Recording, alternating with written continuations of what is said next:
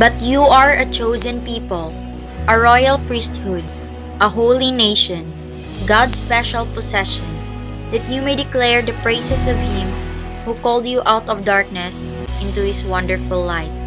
1 Peter 2 9. Summer Youth Camp 2019 Chosen Generation.